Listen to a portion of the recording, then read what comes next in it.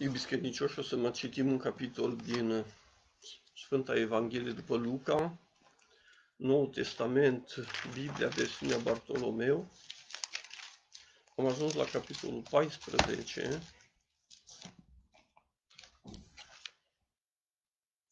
din această versiune.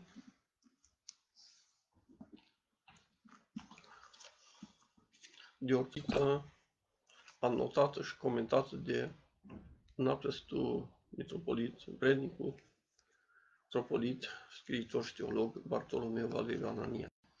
Așadar, Noul Testament, versiunea Bartolomeu, Evanghelia Luca, capitolul 14. Hidropicul vindeca sâmbăta, alegerea unui loc în societate, parabola despre cina cea mare, lepădarea de sine. Și a fost că într-o sâmbătă când a intrat el să mănânce în casa uneia din capii fariseilor, și iată un om bolnav de hidropică, notă, acumulare de lichid a fost în țesuturile și cavitățile organismului. Era înaintea lui.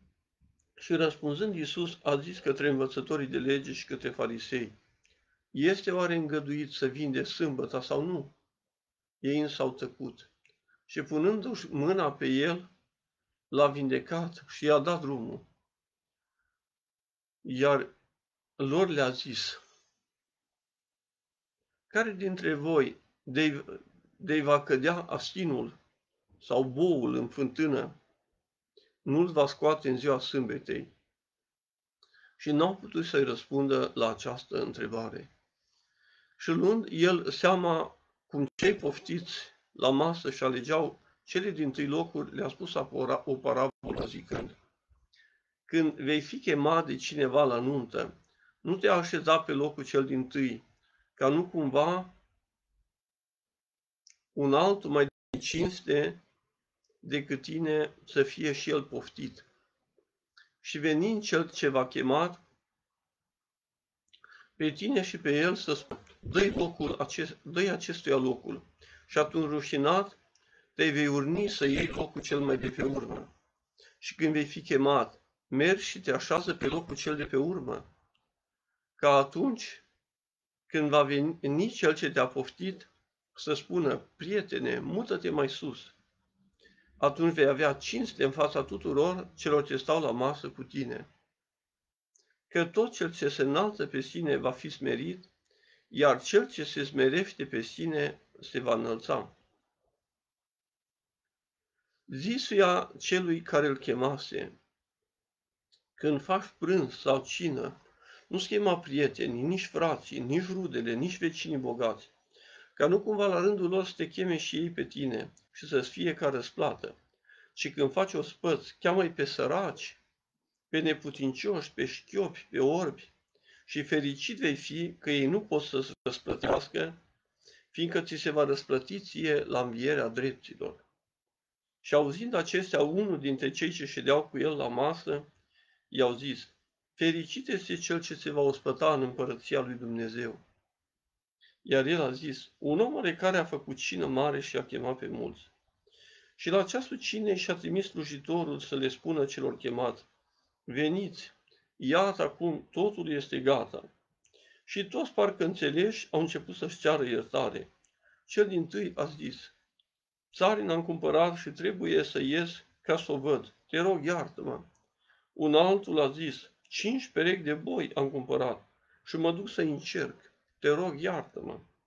Și altul a zis, femeie mi-am luat și de aceea nu pot veni.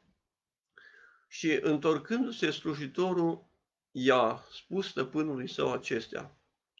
Atunci, mânindu-se stăpânul casei, a zis, ieși în piețe și în ulițele cetății și adu aici săracii și neputincioșii și șchiopii.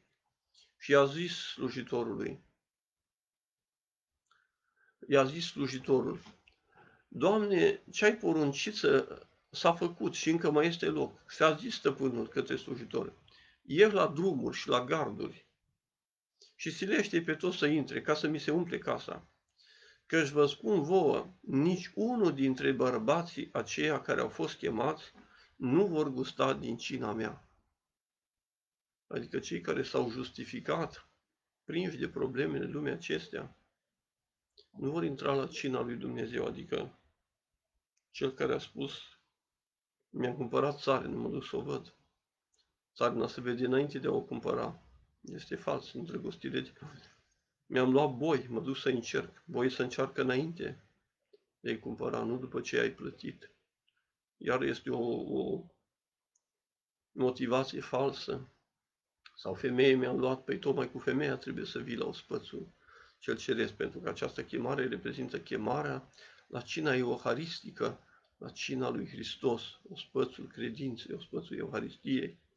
Și cine îl refuză, îl refuză pe Dumnezeu. Și atunci, sigur că nu va, nu va primi împărăția lui Dumnezeu. Și mergeau înainte cu el mulțimi numeroase și întorcându-se le-a zis, Dacă vine cineva la mine și nu urăște pe tatăl său și pe mama sa, pe femeie și pe copil și pe frați și pe surori, până și viața sa nu poate fi ucenicul meu. Și cel ce nu-și poartă crucea și nu-mi urmează mie, nu poate fi ucenicul meu. Cine dintre voi, vrând să zidească un turn, nu stă mai întâi să-și facă socotel și cheltuieli, dacă are cu ce să-l termine? Notă referitoare la a urât pe tată și pe mamă. Ebraism preluat din greaca veche și prin ea din limbile moderne. Nu e vorba de a urâ în înțelesul propriu a cuvântului. Căci Iisus nu îndeamnă niciodată la ură, ci la capacitate de despărți imediat și total de cei dragi pe a deveni apropiați Domnului. Matei și-a scris Evanghelia mai întâi în aramaică și apoi în greacă, conștient a fost conștient de riscul acestui cuvânt și a formulat această teză a termenul prioritar. Cel ce își iubește tatăl și mama mai mult decât pe mine. Adică dacă punem pe tată sau pe mamă sau pe orice înaintea lui Dumnezeu, este un lucru greșit. Care dintre voi vrând să zidească tu stă mai întâi să-și facă socotele, dacă are cu ce să-l termine?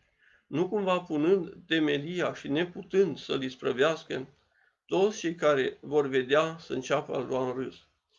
Și zicând, acest om a început să zidească și n-a putut isprăvi.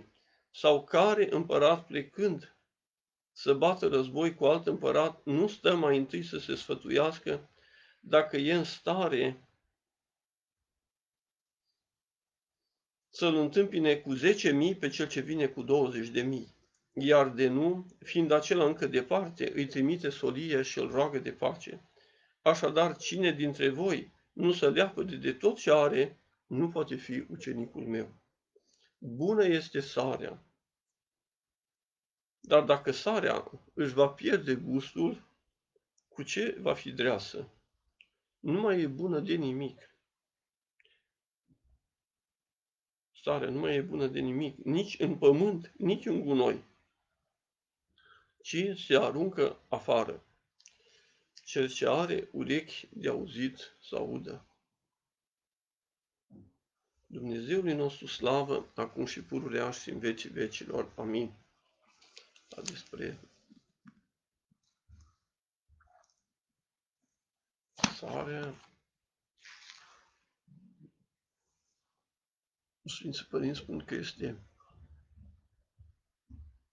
harul Duhului Sfânt, cu care trebuie sărată orice faptă bună, adică dreasă, cu sare, cu har, cu înțelepciune dumnezească, ca să fie plăcută la gust, să-i placă lui Dumnezeu. Fără harul Duhului Sfânt, totul este pierdut. Dumnezeului nostru slavă, acum și pururea și în veci vecilor. Amin.